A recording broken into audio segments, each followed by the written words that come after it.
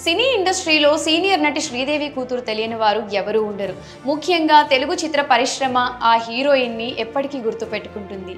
ఇక ఆ హీరోయిన్ తర్వాత ఆమె వారసత్వాన్ని పుణికిపుచ్చుకొని శ్రీదేవి కూతురు జాహ్నీ కపూర్ సినిమాల్లో ఎంట్రీ ఇచ్చింది. ఆమె పలు బాలీవుడ్ సినిమాల్లో నటించి ప్రత్యేకమైన గుర్తింపు సంపాదించుకుంది. ఆమె నటనా ప్రావీణ్యం కేవలం బాలీవుడ్తోనే ఆగిపోకుండా ఇప్పుడు టాలీవుడ్ వరకు వచ్చేసింది.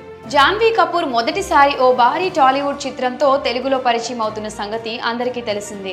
అదే ఎన్టీఆర్ నటిస్తున్న దేవరా చిత్రం. ఇప్పటికే ఈ చిత్రం షూటింగ్ పనులు వేగంగా పుంజుకున్నాయి.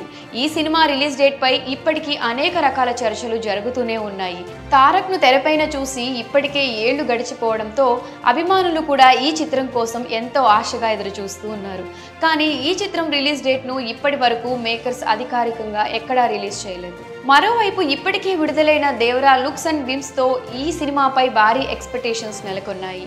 అయితే ఈ సినిమాతో ప్రముఖ బాలీవుడ్ హీరోయిన్ జాహ్నవి కపూర్ మొదటిసారిగా తెలుగు ప్రేక్షకులకు పరిచయం అవుతోంది. ఈ సినిమా ఇంకా విడుదల కాకముందే ఈ హీరోయిన్కు మరో తెలుగు సినిమా ఆఫర్ కూడా వచ్చినట్లు వార్తలు వినిపిస్తున్నాయి. అది రామ్ చరణ్ బుచ్చిబాబు దర్శకత్వంలో తెరకెక్కనున్న మూవీలోనే అట. అయితే ఈ ఆఫర్ తారక్ వల్లే వచ్చినట్లు సమాచారం. రామ్ చరణ్ ప్రస్తుతం గేమ్ చేంజర్తో బిజీగా ఉన్న సంగతి అందరికీ తెలిసిందే. అలాగే తన నెక్స్ట్ ప్రాజెక్ట్ ఆర్సీ సిక్స్టీన్గా డైరెక్టర్ బుచ్చిబాబు తనతోనే చేయబోతున్నాడు. ఈ క్రమంలో దేవరా చిత్రంలో జాహ్నవి కపూర్ యాక్టింగ్ చూసిన ఎన్టీఆర్ రాబోయే ఆర్సీ సిక్స్టీన్ సినిమాకు జాహ్నవి కపూర్ పర్ఫెక్ట్ మ్యాచ్ అంటూ రామ్ చరణ్కు బుచ్చిబాబుకు సజెస్ట్ చేశాడని తెలుస్తోంది. దీంతో ఈ వార్త ప్రస్తుతం సోషల్ మీడియాలో వైరల్ అవుతుంది.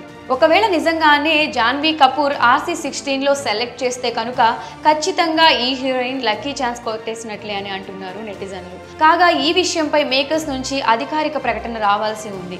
మరి జాన్వీ కపూర్ని రామ్ చరణ్ మూవీ కోసం తారక్ సజెస్ట్ చేశాడంటూ వస్తున్న వార్తలపై మీ అభిప్రాయాన్ని కమెంట్ సెక్షన్లో కమెంట్ చేయండి.